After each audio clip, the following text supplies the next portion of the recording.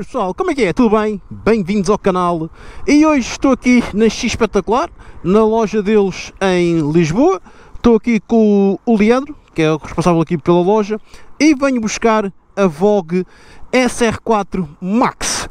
Como vocês podem ver, além de Vogue, nós vamos ter aqui também COV. E COV que eu espero que também venha para o meu canal. Vá, agora eu vou continuar a equipar-me.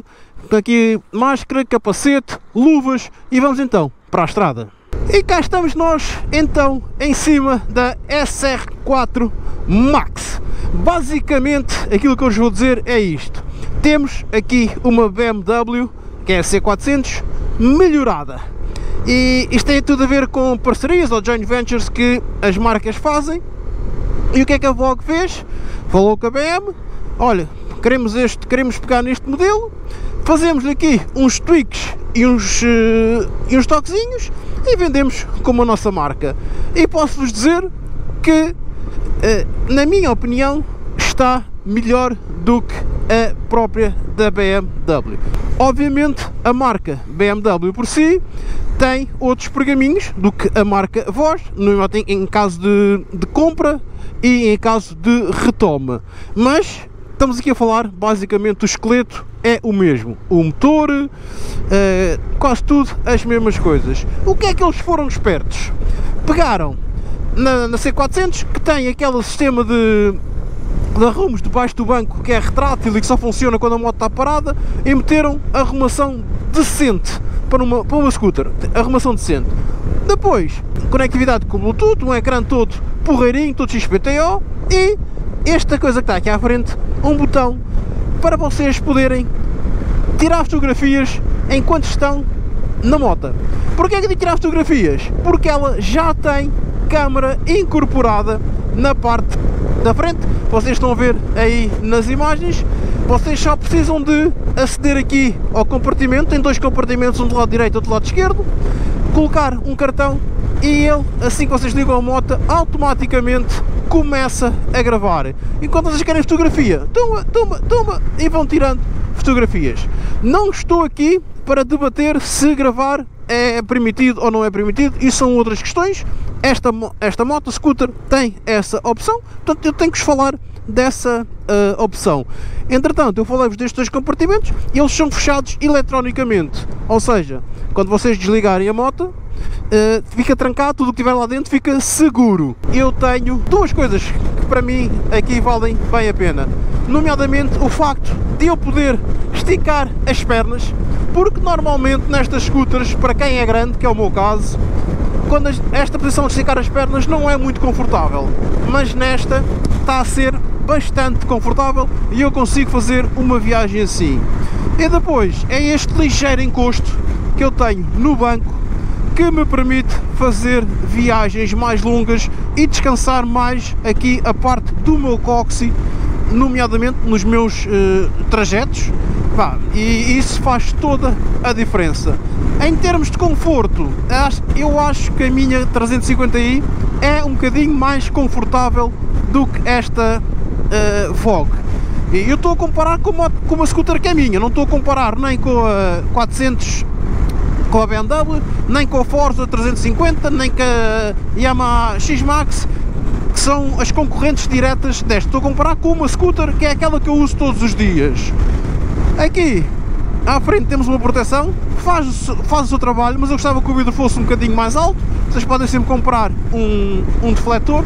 Este painel aqui à frente enorme, com toda a informação que vocês necessitam, o relógio, uma data, temperatura, a velocidade, as RPMs, o trip, o odómetro, temos aqui a temperatura do motor, nível de combustível e depois temos aqui a indicação da pressão dos pneus. Quando eu parar a moto, vou-vos mostrar depois um menu de configurações. Enquanto isso, eu vou continuar aqui a curtir a minha, a minha viagem. Eu estou na IC19 e reparem na aceleração que esta moto tem. Pá, está muito bem conseguida e, na minha opinião, serve perfeitamente para as locações casa-trabalho e, se quiserem, deslocações maiores sem qualquer stress. Ah, isto não é para andar a 180, 200, isto é para andar 130, 140, 150, se vocês quiserem, sem grandes stresses. Eu não vou fazer testes de consumo, porque também não vou, não vou andar muito com ela, nem vou ter muito tempo com ela, mas sendo uma 400 podem contar na casa dos 3,5, 4 litros. E isto tendo a ver da maneira que vocês puxarem o acelerador, ok? No meu caso há de ser sempre 4 mas aqui a parte do guiador, pá, muito porreira. Temos aqui esta patilha que é o travão de mão. Basicamente puxam a manete empurram a patilha, ligam, uh, engatam o travão de mão. Obviamente não vou fazer aqui em andamento. Piscas, vou fazer piscas já aqui. Depois temos este botão para abrir o, o banco. Temos aqui um botão entra para entrar no menu, seta para cima e para baixo depois navegar nos menus, luz, luzes passagem médios e máximos, tal e qual como disse os piscas, e temos aqui uma buzina. Do lado direito temos então o botão das fotografias, corta corrente e o starter da scooter. Ah, e depois é isto, vou devagarinho, chateio, acelero e ela responde rapidamente aos meus comandos e vou super confortável. A proteção aerodinâmica é uma scooter larga, vai aqui bem protegido. Obviamente, se vocês quiserem mais, podem sempre comprar uma capa para vos proteger. Termos de espelho tem o formato que eu gosto e vê-se bem, sem grandes problemas, dá para ver perfeitamente o que é que vai, uh, o que é que vai ali atrás. Ah, e estou a curtir imenso este bocado que vou desfrutar dela assim, no pescar de olhos, passei dos 80 aqui para ali, já vou aos 120, 115, pronto, está muito vento, vocês sabem que eu moro em Sintra, é uma zona muito ventosa, e hoje, vocês conseguem ver por aqui, está a chover, podem ver também, olhar pelas nuvens, já secou um bocadinho a estrada, mas eh, eu também não quero não me quero molhar muito mais, mesmo assim está a cair aquela chuva chamada molha parvos, não é? Aquela chuva miudinha, portanto eu não me quero molhar. Vou só falar aqui de uma coisa que entretanto me lembrei, ela é keyless, portanto eu tenho a chave comigo aqui no, no bolso. Tem duas coisas que estão interessantes na chave, vocês clicarem no botão do lado esquerdo têm um, um aviso sonoro, portanto, imaginem que estacionam moto num parque cheio de motas, vocês clicam no botão ela dá-vos um aviso sonoro para vocês poderem localizar a vossa moto, se vocês clicarem no botão do lado direito ela abre aqui o, o banco. Uma coisa que eu colocava, apesar dela ter bastante espaço, eu tenho lá embaixo neste momento umas encomendas que eu fui buscar, a minha, o meu material uh, para a chuva, mas eu colocaria uma top case. E numa scooter destas, hum, acho que seria uma mais-valia. Uh, ficava muito parecida com a minha Kinko, que leva, leva muita coisa. Eu consigo levar dois capacetes, casacos e muita coisa. E para viajar, então, era uma, uma delícia. Agora aqui vamos acompanhar o, o trânsito até conseguirmos achar uma brecha em que já não haja trânsito. E agora damos a volta, ó, ela curva bem, eu estou a curvar devagarinho, vocês não veem que a estrada está molhada, eu não quero cair uh, com a moto, apesar dela ter uns, uns pneus bons, uh, não quero estar a arriscar, mas já que estou aqui, vou ganhar um bocadinho de distância do carro que vem atrás e vamos fazer um teste de travagem, 3, 2, 1, e está ela, ABS a funcionar, controle tração a funcionar, tudo a funcionar na scooter como deve ser. E é verdade, estamos a falar de uma scooter que já vem com ABS e controle de tração. 3, 2, 1. Epá, isto pega mesmo. Fogo. Isto é muito, muito, muito porreiro.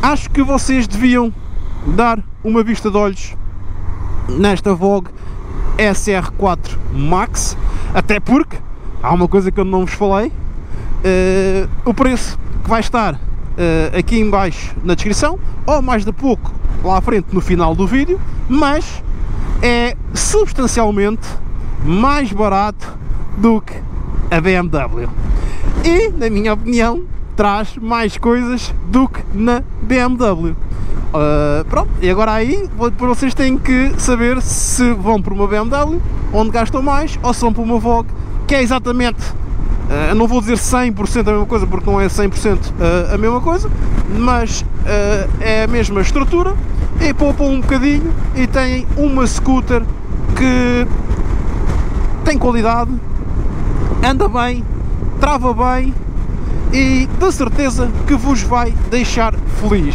Uma coisa que me também vai deixar feliz é encontrar um sítio para parar a moto, porque já repararam, já, já está um bocadinho mais molhada, já apanhei ali um bocadinho mais de chuva quando subi ali a zona de Sintra, portanto vamos lá uh, achar aqui um sítiozinho, esperar que pare de chover e já vos apresento as especificações técnicas desta scooter.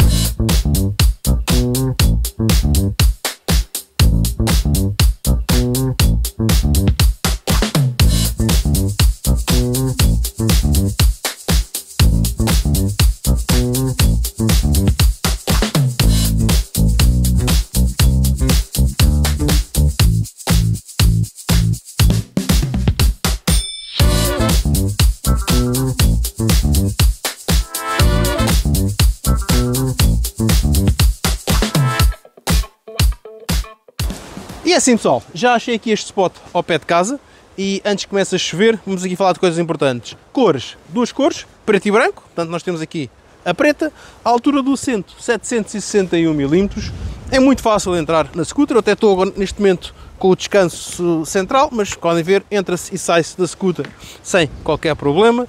Temos aqui um depósito de 13 litros e o peso total anda à volta dos 213 quilos.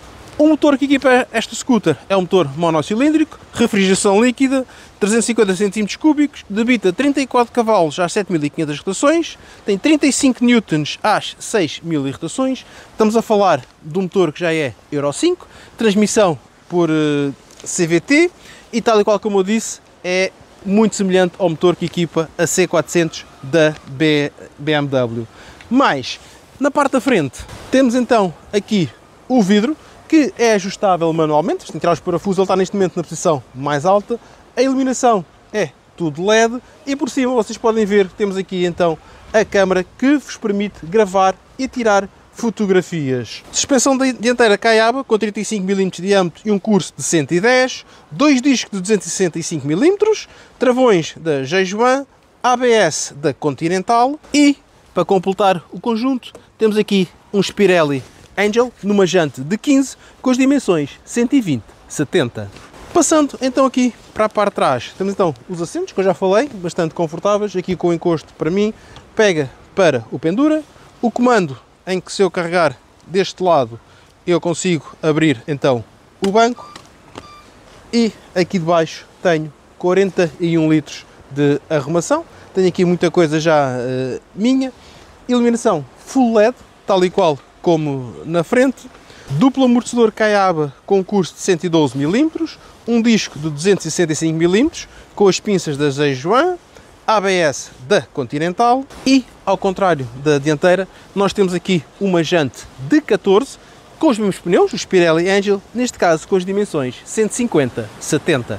Depois, em termos de quadrante, como eu falei, este é um, um, dos, um dos ecrãs, nós ficamos a carregar no botão Enter, vamos entrar aqui no menu de configurações, nos settings, se, clicarmos em Enter passamos para, para a zona seguinte e depois conseguimos com as setas para cima e para baixo navegar entre as várias opções. Portanto, na língua temos o, várias línguas, as unidades, se é quilómetros, se é milhas, o ecrã, se é o clássico ou o Sport, portanto eu vou carregar em Enter, passei para o clássico, vou selecionar o clássico e agora faço, fica a carregar no Enter para voltar para trás, pronto.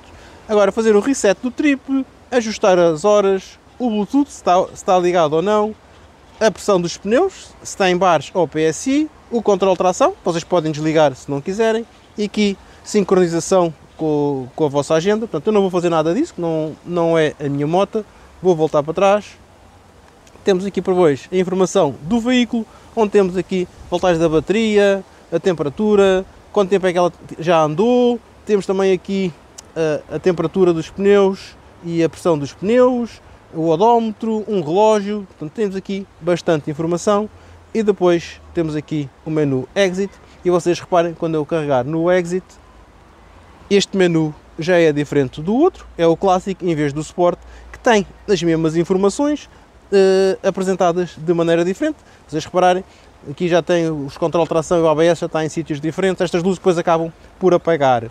Se vocês colocarem o cartão SD, há de aparecer aqui uma bolinha vermelha, quando vocês ligam o scooter, ele começa automaticamente a gravar. E pronto, basicamente está aqui apresentada a nova Vogue SR4. Vou só falar aqui de mais uma coisinha que eu não me lembrei. Portanto, já falei que isto é fechado eletronicamente, mas vocês têm aqui dentro, deste lado, uma, uma tomada de 12 volts e também uma tomada USB. É também neste compartimento, aqui deste lado, que vocês levantando esta patilha, conseguem colocar o vosso cartão SD. Voltam a fechar e depois tem aqui muito bem integrado no design da moto o gancho para o suposto saco uh, das compras. Aí como vocês podem ver, esta é a minha posição e esta é aquela que eu consigo nesta scooter ir à vontade a conduzir. À vontade, à vontadinha. Eu só faço isto porque conto com vocês e o que é que eu conto com vocês? Para subscrever o canal, ativar o sininho, partilhar, comentarem, deixarem os vossos likes, que o vosso amigo Spitfire PT. Fui!